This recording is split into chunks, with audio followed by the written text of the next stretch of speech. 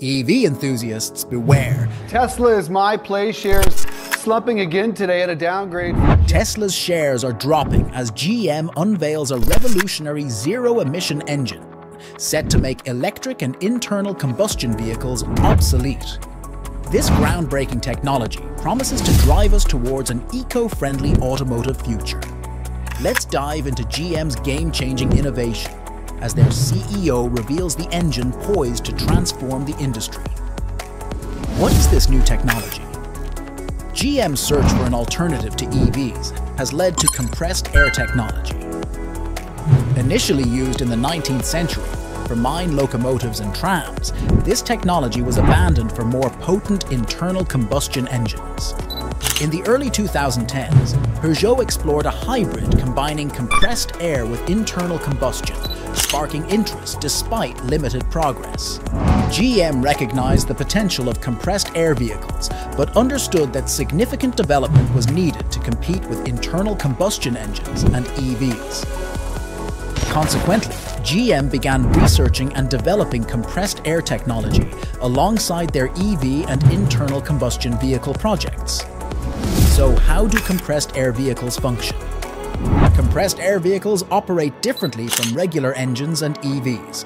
They use pneumatic engines, which are similar to internal combustion engines, but rely on air pressure instead of explosions.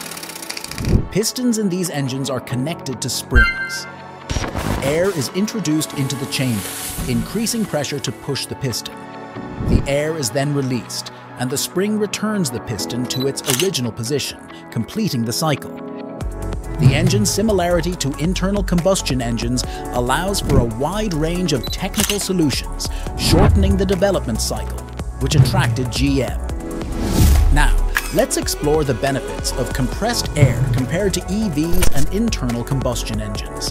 The most notable benefit of compressed air engines is that they are 100% pollution-free, using only pressurized air with no environmental damage. They eliminate the direct pollution caused by combustion engines and are cheaper to produce than EVs, requiring no rare earth materials. Additionally, compressed air engines are more eco-friendly than EVs, as the electric grid is still largely dependent on fossil fuels. Another key benefit of compressed air engines is their lower production cost. They endure lower pressures than gasoline or diesel engines, requiring less strong and hardened steel or metal making them more economically viable and eco-friendly to produce in large quantities. Additionally, the running costs are unrivaled, as compressed air is much cheaper and easier to acquire than fuel or electricity. These engines are also future-proof, using only pressurized air that remains unchanged after use. However, compressed air engines have drawbacks that limit their wider use, they are often underpowered due to the low energy density of pressurized air, resulting in low potency. The light components and lack of high pressure production lead to poor torque, making them less practical in real-world applications. Additionally, the engine must spin at high RPMs, causing excess wear on components due to its fully mechanical nature. Furthermore, since compressed air engines don't use liquid as a propellant, Adding lubricators is more challenging than in internal combustion engines. Their biggest issue is inefficiency. Most prototypes have a range of only 140 kilometers, less than 100 miles, requiring frequent refills and making long trips unreliable. Most prototypes used regular steel air tanks for storing pressurized air, which added weight and made the car less potent. These tanks were also susceptible to explosions if damaged. However, GM has been working hard to address these issues and has made significant progress. Firstly, the power issue has been addressed with new high-pressure air tanks that compress air further, resulting in higher cylinder pressure. GM's new prototype now achieves performance figures comparable to gasoline engines, although torque still needs improvement. Additionally, GM has extended the vehicle's range by turning the chassis into a large compressed air reservoir. This requires specific reinforcements or composite materials like fiber-reinforced thermoplastics, allowing the vehicle to remain lightweight and safer than using regular high-pressure tanks, as rupturing the reservoir won't cause explosions. When will this technology be implemented? The answer is complex, but there is a solid possibility of these engines entering mass production in the next few years. GM is deeply invested in this technology, continuously researching and solving existing problems to create a revolutionary product. The mechanical similarity to internal combustion engines allows GM to develop these engines much faster than starting from scratch.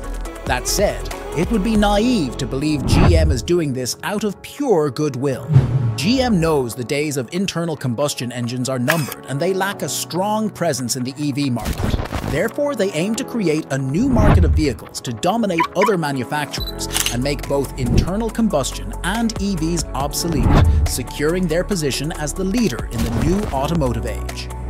As promising as this sounds, it's not the first time a major manufacturer has tried implementing compressed air into vehicles. About 10 years ago, Peugeot developed a hybrid version of their Peugeot 2008 crossover that combined an internal combustion engine with compressed air. This powertrain merged the power and torque of an internal combustion engine with the ecological benefits of compressed air, achieving an impressive 120 miles per gallon However, despite initial success, Peugeot quietly abandoned the project, citing profitability concerns that didn't seem to add up. Why did they abandon it? It's anyone's guess, but some believe it has to do with large oil companies, as such an engine developed and produced on a large scale could potentially threaten their business. This might sound far-fetched, but it's not unprecedented. In the mid-90s, Stanley Allen Meyer developed a water fuel cell that could power cars using only water. After going public, Meyer faced pressure from oil firms to abandon his work. He resisted and sought funding, but he passed away under suspicious circumstances, and his prototypes mysteriously vanished. So GM, if you're listening, Continue developing the engine in absolute privacy, or it might face the same fate as Peugeot's hybrid, or worse, Stanley Allen Meyer's water fuel cell. So, what do you think of GM's air powered engine? Do you see it hitting the market anytime soon? Let us know in the comment section below, and please hit that like button, share, and subscribe. See you in the next video.